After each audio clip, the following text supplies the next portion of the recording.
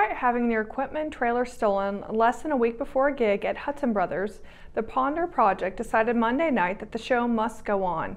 Late Tuesday, the band issued a statement thanking those who have stepped up to help.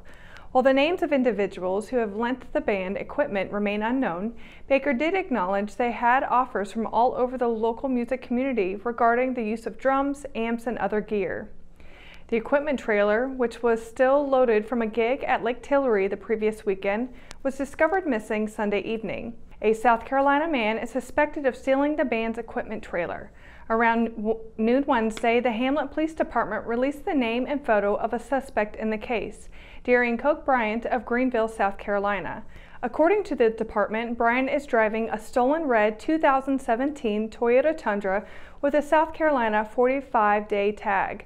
The tag cover has a Parks Buick GMC logo on it. The truck also has a black bed cover and a large trailer hitch. The band is offering a $1,000 reward for information leading to the recovery of the trailer and its contents. The North Carolina Forest Service is urging people across North Carolina to remain vigilant in reducing wildfire risk. While recent rainfall brought immediate and temporary relief to much of the state, Warmer, drier days combined with winds could quickly dry forest fuels, increasing the risk of wildfire. Many tourists come to western North Carolina to see the changing leaves or for extended stays to hunt. Some of these visitors will use campfires as a source of heat. Where there is fire, there's a risk of that fire escaping into areas where fuels are dry and readily available. The North Carolina Forest Service offers plenty of tips on how to prevent wildfires and be prepared. That list can be found on richmondobserver.com. U.S. Representative Mark Walker has the NCAA's attention when it comes to fair pay for student athletes but he wants action for the collegiate sports giant and from Congress. The NCAA's Board of Governors voted on Tuesday to allow college athletes to use their name, image, or likeness for profit. It's a landmark decision and one that may have been catalyzed by a legislation from Walker. House Resolution 1804, or the Student Athlete Equity Act, would change the federal tax code, effectively requiring the NCAA let athletes get paid for their name, picture, or other personal branding.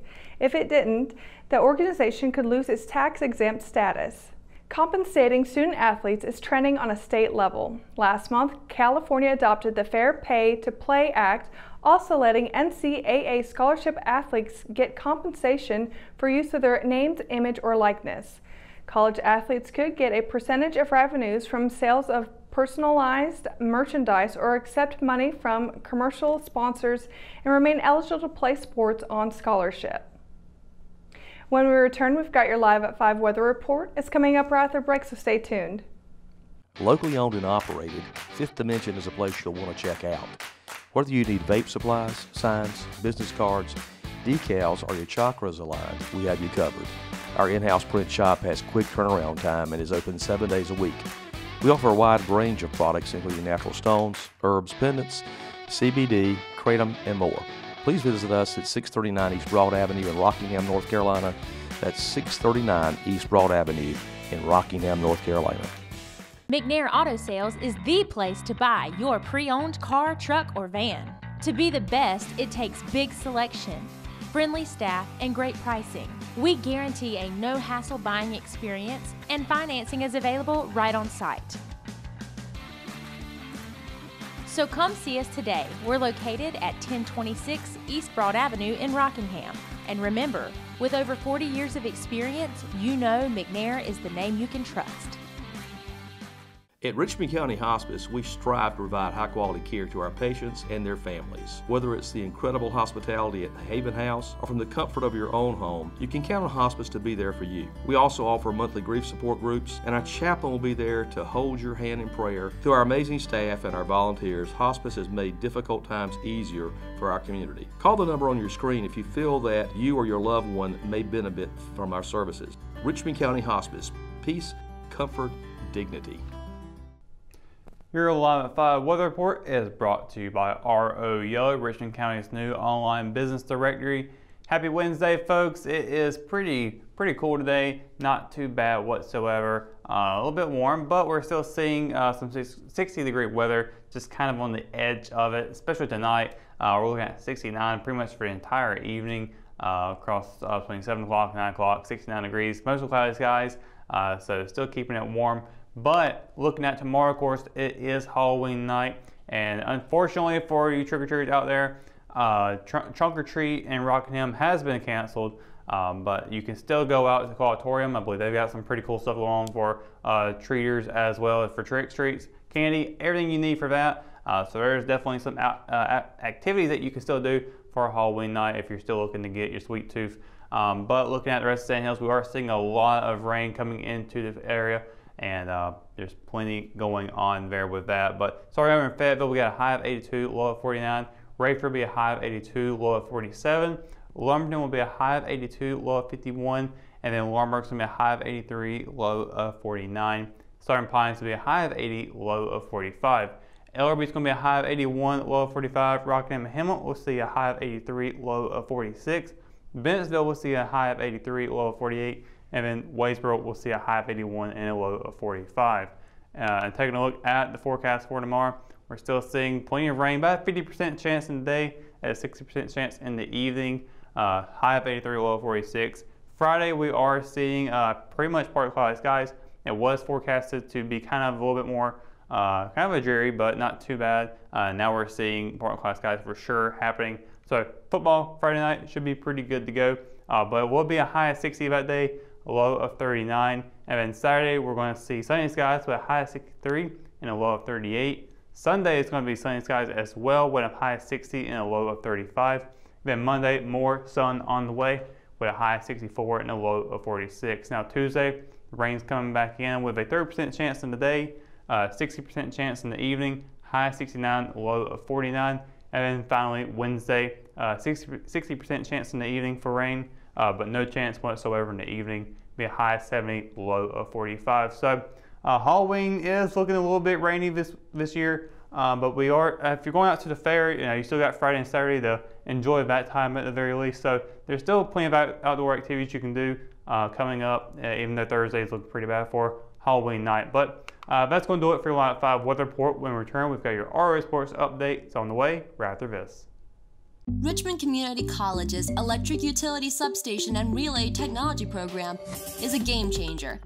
Established as a partnership between Richmond CC and Duke Energy in 2011, this innovative, one of a kind program was created to address the nation's growing demand for technicians capable of working on the protective relaying that controls America's high voltage power grid. While entry level technicians in the utility industry normally require five years of training, Richmond CC's two year program was crafted specifically to cut the training time in half and fast tracked its students toward high skill, high wage jobs in the industry. Graduates of the EUS RT degree program are making between 50000 and 75000 in their first year of employment.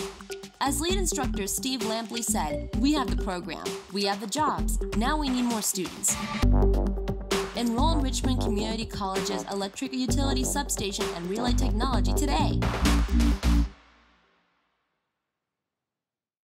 Hometown heroes? Well, maybe. When it comes to backyard comfort and no pesky mosquitoes, call Brown Termite and Pest Control at 910 895 6410 or 910 276 8870. Their team of superheroes can take back control of your paradise.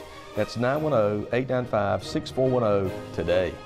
Just like it has all season, the Rockingham golf team dominated the competition and last week's SEM SAC Championship in Scotch Meadows Country Club. The Rockets and head coach Wendy Rodaliter put the finishing touches on a productive 2019 season by winning the team championship.